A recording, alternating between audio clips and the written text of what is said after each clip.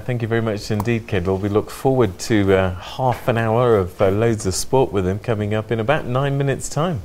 First, let's tell you about a Cape Town artist who has immortalized Nelson Mandela's long walk to freedom in canvas. Cui Ning's latest painting, titled Long Walk to Freedom 2, tells the story of a young Madiba growing up in Qunu. The celebrated artist says that he's met the, he met the late uh, former president several times and his legacy should never be forgotten. Historic moments in South Africa captured on canvas. The artwork tells the story of Madiba's childhood to his treason trial in 1956. It's not the first by artist Cui Ning. In 1999, he painted a picture of Madiba and his wife, Graça Machel. Mandela asked to meet the artist. The painting still hangs at his Houghton home in Johannesburg.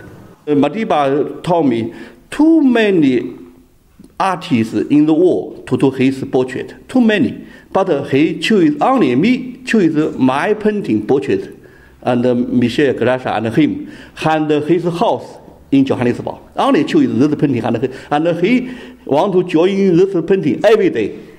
Cui Ning was also commissioned by the Mandela Foundation to paint Long Walk to Freedom 1 in 2008 for his 90th birthday.